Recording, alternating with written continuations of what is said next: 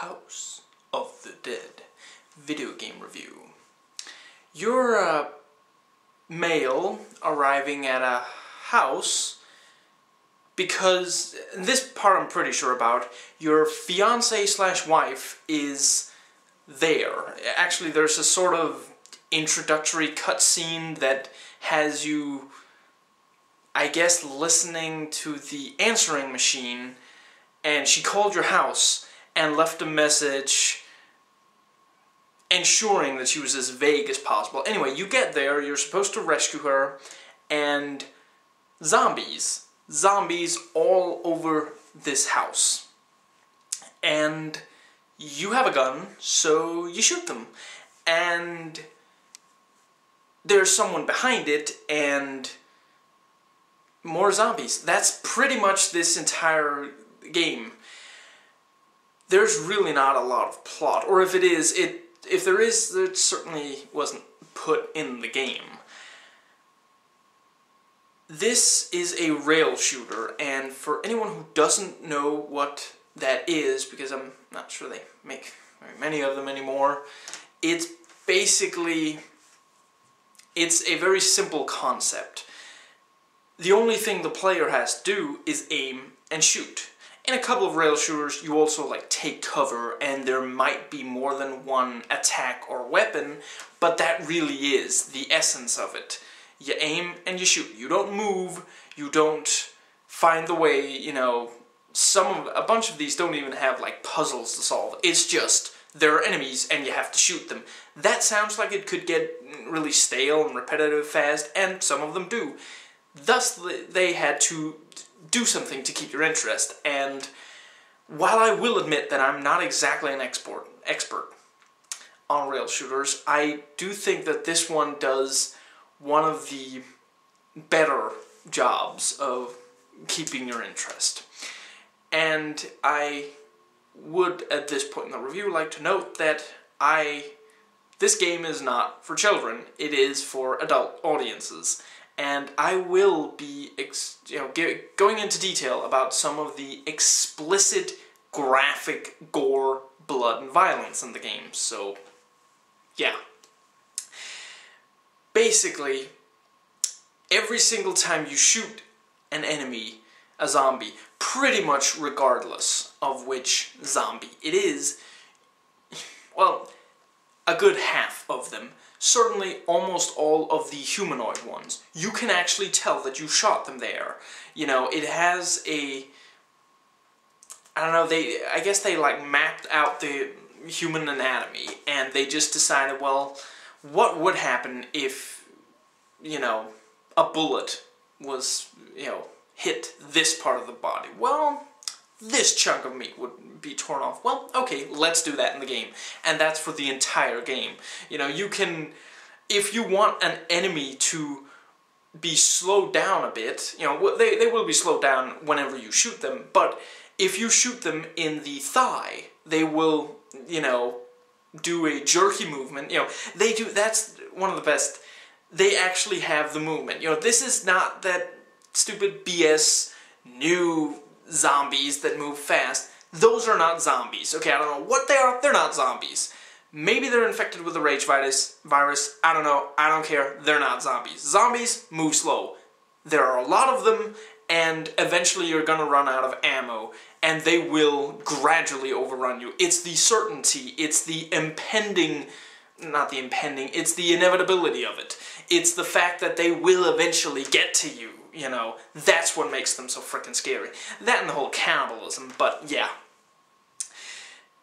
In the game, you know, shoot them in the thigh, they will do a jerky movement downwards, and then gradually, you know, relatively quickly, re retain their composure. But in the second or so that that takes them, you will have fired more bullets into it, you know. And yeah, pretty much every one of the really fun things also is if you see them attacking you with, let's say, their right arm, you shoot their right arm and you blow it clean off. And you have to remember, these are zombies. They're, they're not smart. That's why they want to eat everybody else's brain. You know, they're like religious people in that respect. they just, you know, when they see something smart, they chomp down on it like you wouldn't believe. Anyway, so if you if you blow that arm off and they're, you know, they won't register it right away, so they'll just attack you with the stump. And again, they won't have like course corrected for the fact that their arm is now a bit shorter, so they'll just be you know, smacking a stump your way. They won't actually hit you. They you won't take any damage. And then, you know, that only works once, of course. Afterwards, they'll attack with the other arm. You can blow that off as, as well, and they're, they might still be alive. They'll, you know, try to, I don't know, headbutt you, bite at you, something, you know. It's only a flesh wound. And that really goes for the entire game. And you can have a lot of fun just blowing these, you know, life, well, not entirely lifeless, corpses, these walking corpses apart. You know, a bunch of them, if you shoot their head, and you only shoot their head, you know, they do have, obviously, after a while, they will just, Don't know, die, quit, at least, and blink out of existence. And, yeah, that, you know, if you, if you start out shooting, like, their legs or their arms and then you go to their head or chest, they'll die really quickly. But you can't blow, if you shoot enough at their chest, you'll blow the entire top half of their body clean off. That is awesome. If you shoot their head enough times and you only shoot their head, some of them you can clearly see an eyeball flying away from the hair from the head once you've blown it completely apart. You know, some of them you can shoot the head off as in you shoot the neck and the head will be detached from the body. And then you have all these different types of zombies. Again, just to you know keep things fresh because really this is that also actually goes to the length of this game. This was originally in the arcade, so you know, it just they wanted you to drop some quarters in and you'd be playing for a while. The game is 15 minutes from start to finish. Yeah. I guess I should briefly go over the the replayability. Basically, there are two ways you could play the main game. Just the arcade mode, which is just straightforward, you just play the game. And then there's the PC mode, which is essentially the same, but you can choose a character. Characters, the only way they actually matter is how much damage they do, how quickly they reload, how many bullets they have in the clip, and how many life lamps. They, they look like, you know, Arabic, like, lamps with the fire and the, like a lamp with, with fire and the, yeah, I don't know, I don't know. I don't know why they thought that this would represent life well instead of, like, hearts or yeah, anything else, but whatever. That's what they chose.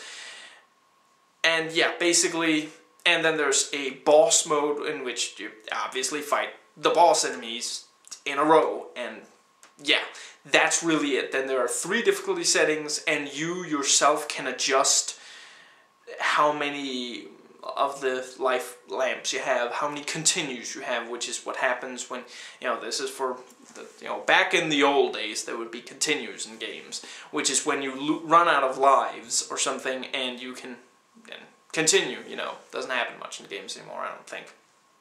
Yeah and there's the there's this feature called auto reload which you can switch on or off and if it's you know if it's on you never have to reload. If it's off you either have to shoot outside of the screen as it will tell you. It's yeah, brilliant. I love the communication of this game. Literally if you're trying to fire if you're clicking the the trigger key, which is, that's also the great thing, when you're setting up like an additional controller for this or something, you only actually have to place two buttons, unless it's something where, you know, if you play using the keyboard, you'll also have to tell it, you know, I want to use the up, down, and left, right arrows, or it'll actually basically know, but you can adjust it if you want. And I believe two players can actually use the same keyboard, you know, sitting at different parts. But, but yeah, there's a two-player feature. We'll get to that. And you know, basically, there's just two buttons to set up the, you know, shoot and reload keys. But yeah, if you try to click the shoot key and you don't have any bullets left, it will say shoot outside of the reload, reload, shoot outside of the screen. And yeah, once you do that, or you can click the reload button and then it'll reload. Unless auto reload is on. Anyway, yes, not a ton of replayability. There is a high score, and they do a nice job of making it genuinely challenging to top it. But yeah, some people are not gonna want. I I knew this one guy who literally told me once he'd beaten it once, he sold it because there wasn't anything left to. But then again, he said he did the same thing with House Heart of Darkness. So yeah, I don't listen to him. I didn't listen to him. Anyway, he's not dead. I just don't have any contact with him. Anyway, yeah, basically, it depends on if you're the type of, type of person who will want to replay this over and over, or if not, you know. Arguably, from the second and onwards, they have more replayability, but I personally think this is by far the best of the original concept. Overkill is a different take on this same, on a rail shooter. You know, I already did a review of that. If you want my thoughts on that, watch my video on that. Anyway, I do think this is the best one of the original concept. It has a real sort of gothic dark style to it that 2 and 3 I haven't played for. I don't know of a way to play it. I I haven't seen it in an, any arcade and I haven't seen it in any other format either. But yeah, this one has a this just great tone to it and it's incredibly cinematic. It just for this entire 15 minute running time you can never really breathe. You know, you're, you're just holding your breath for 15 minutes, basically. It's, it's great practice if you want to, like, you know, go diving or something. Just every single time you see the hero, literally, the first thing you see, someone's being attacked by a zombie. Oh crap, that's not good. Car drives up. Car door opens. Your hero gets out. Loads the gun, and then it goes into the first person camera perspective, which, you know, makes it pretty good amount of sense for a rail shooter, and which is actually, it actually sticks pretty well to this throughout the rest of the game. It only goes to a third person camera when we have to show our hero moving, you know, in a, you know, at the end of every, well, uh, certainly at the beginning of every level, it shows him moving to the new area, you know. And each of these are cinematic. Each of these are so exciting, you know. I already told you the first one. I'm I refuse to give away the other ones because they're just they're they're not like massively cool, but they're always genuinely exciting. You know, it's not necessarily stuff you haven't seen before, but I do wish more games would do this, you know. It, if you've watched my Terminator review, or you know me as a person, you know I love when stuff is intensive, you know, when entertainment just says, you know, screw it, people don't need to breathe. We just, you know, and that they do it right. That is also very important. I can't stand Stephen Sommers, you know, there, there's a limit. There's, you know, you shouldn't go past a certain threshold because then we'll just be, you know, annoyed and then we'll just be wanting it to stop. But this treads that balance perfectly. Anyway, I was talking for like, you know, I don't know, 10 minutes ago, I was talking about different zombie types. You have, you know, other than just regular, hum regular humanoid ones, and these come in various different shapes and even sizes, you know. There's big muscly ones, which of course can take more bullets. There's smaller ones, which can take fewer. One type is wearing like a business suit, which makes me really wonder what he, you know, was this guy a businessman before? You know, anyway. There are, you know, there are animal zombies. There are little screaming monkey zombies. There are bird zombies. There are bat zombies. Spider zombies. Frog and, I don't know, leech, worm kind of thing, zombies, you know, everything. And they'll come at you with different stuff. You know, some of them will be carrying like an axe in each hand, and if they're at a distance, they might even throw it, and some of them throw uh, knives at you. And the great thing about the throwing, you know, I mentioned earlier, other rail shooters might let you dodge. This game, no dodge feature. You know, you can never take cover or anything like that. You're always exposed. But everything thrown at you, and that is another thing I love about this game, anything thrown at you can be stopped. Usually you can shoot the thing itself. So literally, you're trying to shoot a knife flying through the air at you. You know, it's not gonna like stand still, and and you're not gonna have more than a second or two to shoot it before it hits you. You know. And you know, other stuff you might have to shoot the person trying to throw it at you. You know, if it's something that just can't be shot. The locations are pretty cool. You know, you start out outside this grandiose mansion and then you move through it and you know through the game you go through this large like industrial type area you go through you might go through like zoo, sewers yes spoony there's always a, spook, a sewer level spooge level anyway and you know but yeah the, the game just never lets up it really basically when uh, uh, when there's at least one zombie moving towards you on the screen or threatening the life of a civilian, there are also civilians, all of them, it's usually nice and easy to tell them apart from the zombies, not only because of the whole skin color thing. In fact, the zombies in this have like gray skin, or, you know, they look nasty. They're, it's just a great, you know, you can tell this, this is really, you're killing monsters, you know, there's nothing like and just the sounds they make. The sound side of this is excellent as well. You know, just the noises that the zombies will make and the sound of something being blown apart, of body parts being blown apart. Really well chosen. And you, you gotta remember, this is, you know, this is not a new game. This is from 1998. So, you know, and that does show on the graphics. You know, if you if you're not comfortable with slightly older graphics, you know, they do look good. There's not that much.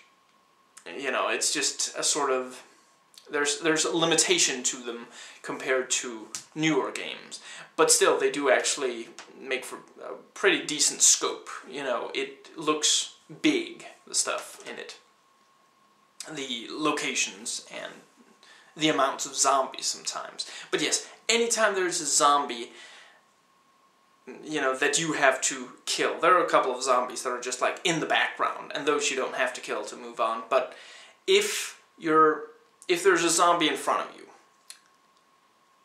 until you kill that or those zombies, you won't actually move on. But the moment that they're dead, you will be moving on. And within a second or so, there'll be another zombie. And the entrances of these zombies also, you know, they'll. There's one that chops his way through a door using his axes. You know, they will come bursting in through the window. They'll be staying right around the corner. You know, th this really hits so many of the basic, you know, instinctive fears, you know, that they'll literally exactly where you're not looking right at this second is where something dangerous is. You know, that's that's one of the greatest fears. And usually that's also usually it sort of makes sense that there would be a zombie there. Like, it's not like in Resident Evil where you might be going back and forth between different rooms, and because you just made a little progress, suddenly there's a zombie in a room that where there wasn't one before. You know, you're always moving through new areas, and I don't know. I guess the zombies are just waiting for you. That you know, but that's the kind of thing you could say about any game. That why the enemies just waiting around for you to kill them. And you know, th there's one zombie that's like a big tubby one, and he's got like a chainsaw that he'll you know shake over his head, and just this kind of stuff. You know, the boss enemies are great. I will not give them away but there are also really, you know, sort of arch ar archetypes, and you know, I would say that the best boss enemies, the best ideas for boss enemies are almost exclusively in this game. You know, again, excluding Overkill because it's really a different conversation. The one exception is one boss in the second one, which I, you know, I'll be discussing the second game in a video, in a separate video. But yeah, so basically, you can be, you know, the, the game moves as fast as you do. So if you take one second to kill the couple of zombies that have just amassed in front of you, it will just take that, you know, amount of time before you're moving on to something else. But if you need several seconds, then yeah, several seconds it is. I should also talk about the two-player feature. This is one of those games where if you play as two players, you know, it really doesn't make a huge difference if you're playing as one person or if there's two of you. The game is challenging because depending on how many players there are, there's, you know, it gets a proper ratio of enemies to, you know, fitting that amount. So if there's two of you, there will most of the time be enough enemies that, you know, you can still, yeah, it, it does a pretty good job of that.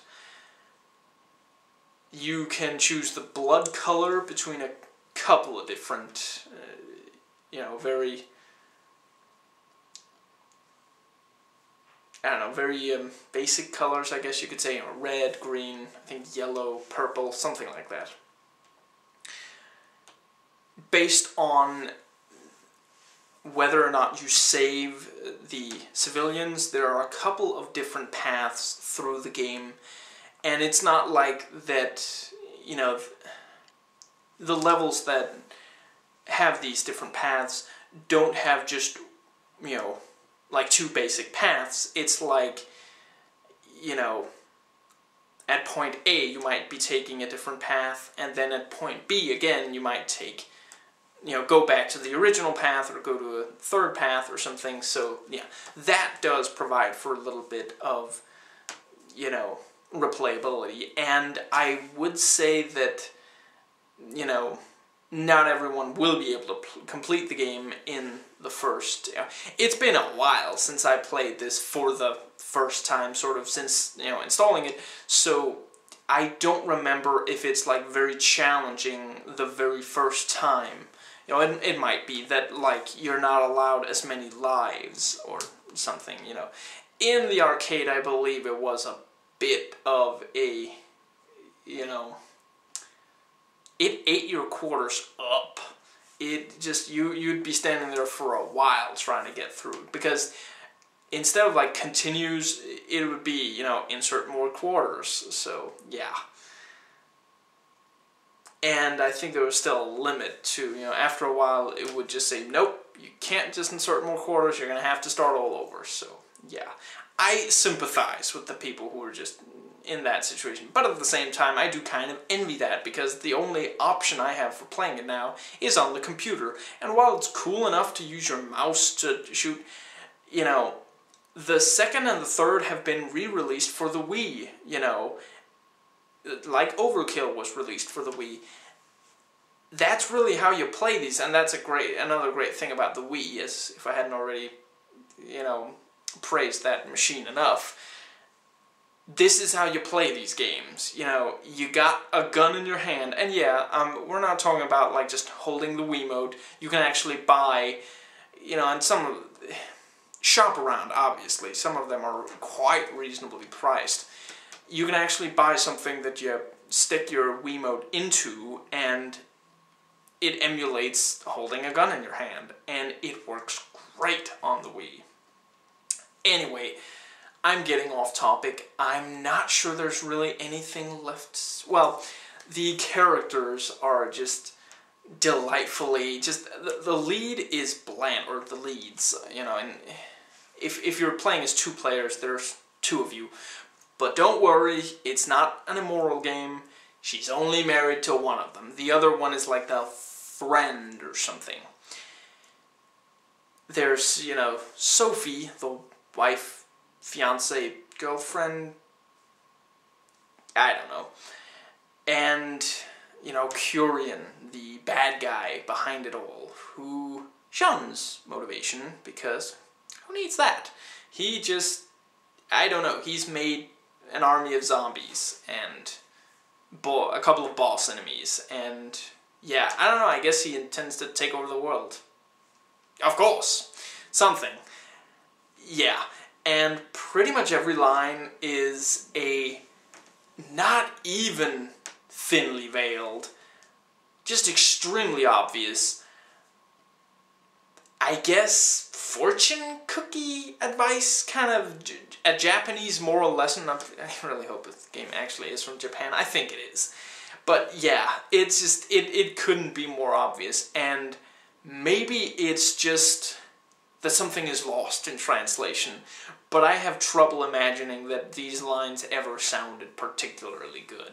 There's one part where the hero assures Curien, who can't actually hear him, I, I presume at least, they're not in the same room, We won't let you have it your way, Curien. Yeah. And when, when you meet Curien, he tells you that he admires your consistency. He, he must admit that he really admires your consistency. I, I'm not even sure what that's supposed to mean. But, yeah, and... But yeah, anyway, the boss enemies, you know, I've already said that, you know, they're you know, good designs and uh, clever ideas, and that they're these archetypes of, you know, it's, it's stuff you find creepy and, it's and the Japanese, the Japanese are great at crafting these mythical beasts that you really, you know, you don't want Americans doing a game like this because the boss enemies would just not be the same. You know, the Japanese, yeah, they, just, the culture really lends them a lot of, you know, that they're really, really good at this. Anyway,